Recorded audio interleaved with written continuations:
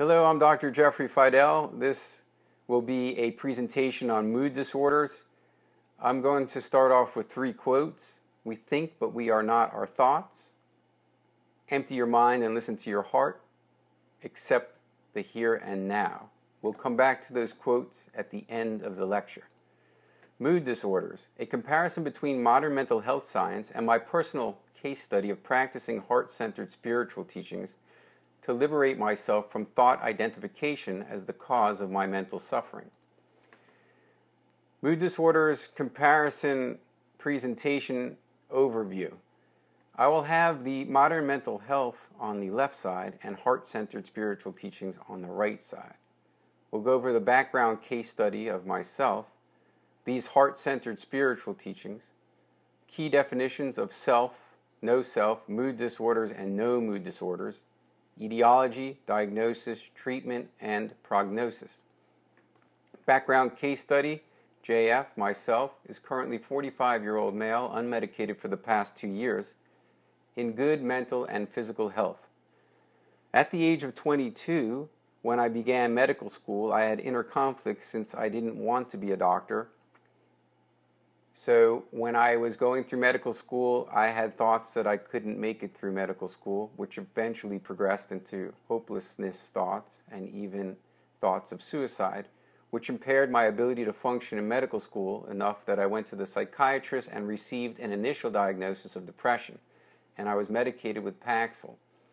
At the age of 30, when I was taking my radiology board examination, these thoughts became more prevalent since now I was going to finish my training and start my job as being a doctor, and I still didn't want to be a doctor. So, what I had done at this time was exchange my thoughts of worthlessness into thoughts of happiness, and even I was able to shut off my thinking mind, which heightened my senses.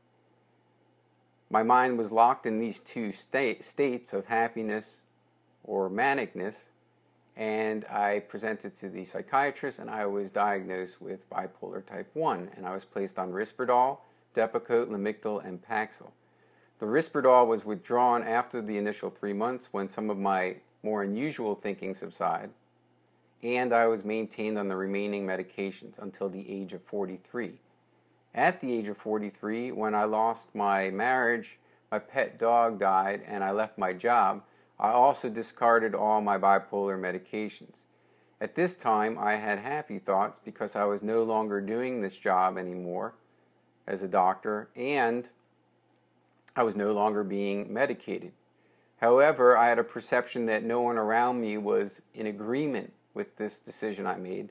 So I went into thoughts of being angry because I thought that I was being true to myself. However, I perceived no one else was in agreement with this. So I went into isolation. I eventually developed thoughts that I interpreted as voices coming from God and even visual thoughts or hallucination of clouds forming on the horizon eventually progressed to even suicidal thoughts. At the same time, I was practicing the spiritual teachings of Lao Tzu's Tao Te Ching and Hua Hu Ching. And it was these teachings that enabled me to trust in an inner voice that was coming from my heart. So when the thoughts of suicide came to a crescendo, this other voice was telling me not to take my life. So here are Lao Tzu's heart-centered spiritual teachings from 4th century BC. The two particular voices that pertain to the voice from our heart is as follows from the Tao Te Ching, verse 70. My teachings are easy to understand and easy to put into practice, yet your intellect will never grasp them, and if you try to practice them, you'll fail. My teachings are older than the world. How can you grasp their meaning? If you want to know me, look inside your heart. And the second from the Hua Hu Ching, verse 17, which was particularly important to me since I never believed in organized religion. Do not go about worshiping deities and religious institutions as the source of the subtle truth. To do so is to place intermediaries between yourself and the divine, and to make of yourself a beggar who looks outside for a treasure that is hidden inside his own breast. If you want to worship the Tao, first discover it in your own heart. Then your worship will be meaningful. Now for some key definitions of the self and the no self. In modern mental health, we have the self. Your self is the totality of you, including your body, your sense of identity, your reputation, how others know you, and so on. It encompasses both the physical self and the self that is constructed out of meaning. The individual's belief about himself or herself, including the person's attributes and who and what the self is. That self definition is from Roy F. Baumeister, a social psychologist known for his work on the self. In heart centered spirituality, we have the no self. The no self is not a denial of existence. The no self is unnameable and unknowable since there is no reciprocity between your thoughts of body and your beliefs with your intrinsic essence. We are not our thoughts since thoughts do not recreate us. Thoughts also create an illusory boundary between a self and a universe. An analogy is the self is to the universe like the wave is to the ocean. There's clearly no separation between the two. What we're left with is present moment awareness. Definitions mood disorder versus no mood disorder. From the American Heritage Medical Dictionary, mood disorder, any of a group of psychiatric disorders, including depression and bipolar disorder, characterized by a pervasive disturbance of mood. In heart centered spirituality, there is no mood disorder assigned since there's no outside observer to assign it. Etiology of mood disorder. Modern mental health, we have the scientific method applied to individuals and or populations to study mood disorders. We could look at family environment and genetics. We could see if there's patterns in who develops depression or bipolar by looking at identical twins or genes between populations? Can we find patterns? Are there common stressors? Are there common neurotransmitter levels that we can see? People with mania have higher levels of serotonin. People with depression, lower levels of serotonin. Hormonal changes, the HPA axis people that are depressed or adrenally fatigued. Psychoneuroimmunology. We could look at different immune function levels in pe- people that are depressed or manic. Can we find a pattern? Brain mapping.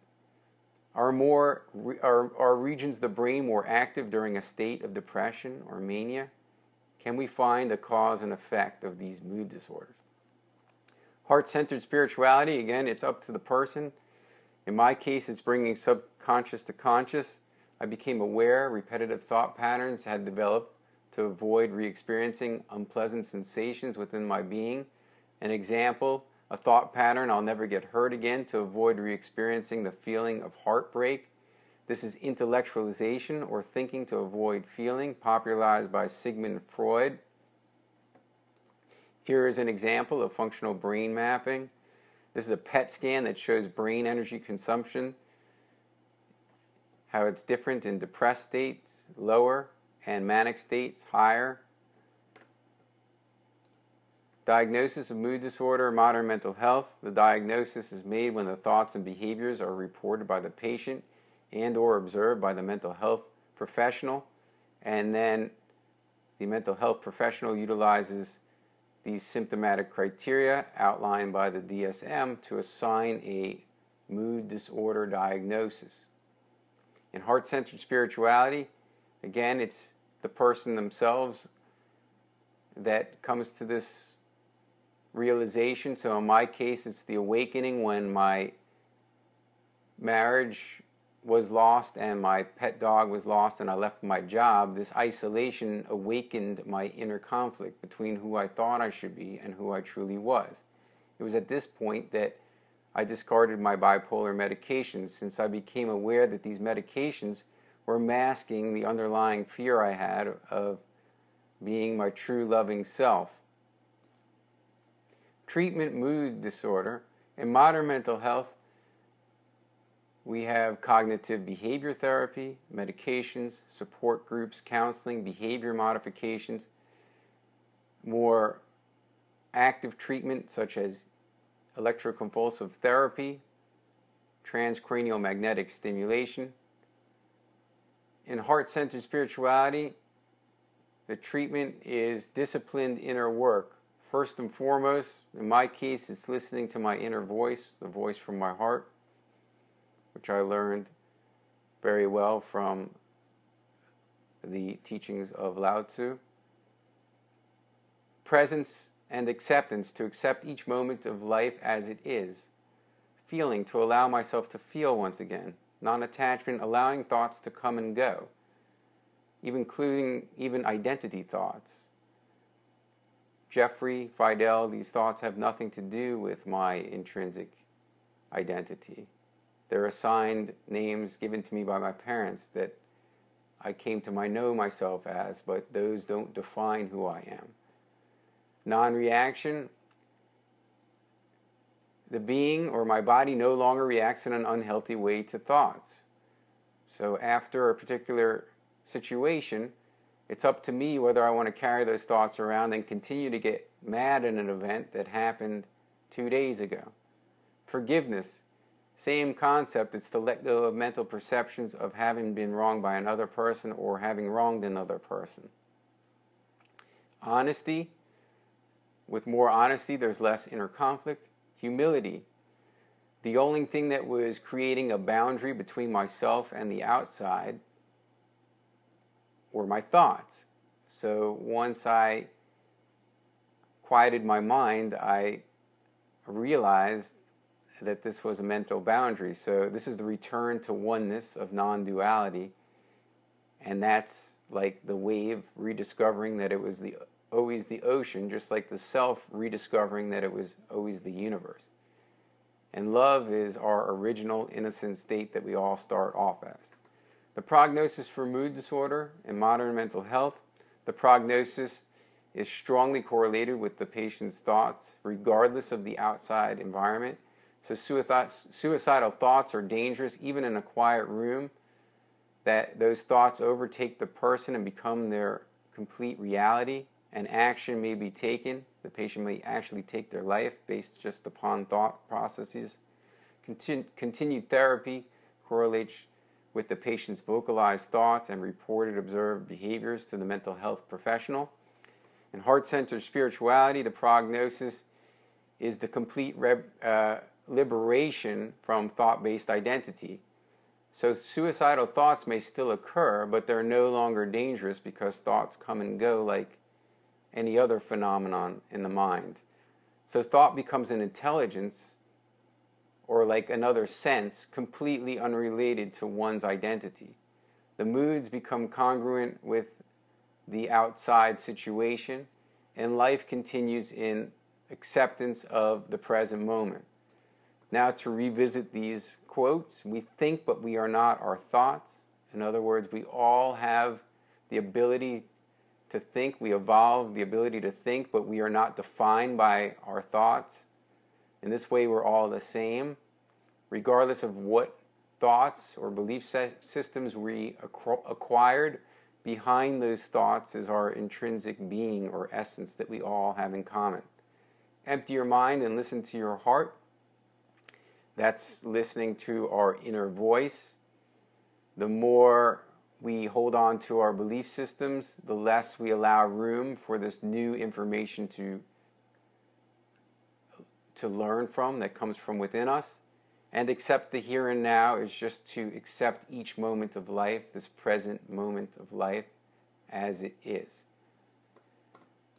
For more information, please visit my website, www.jeffreyfidelmd.com. Thank you.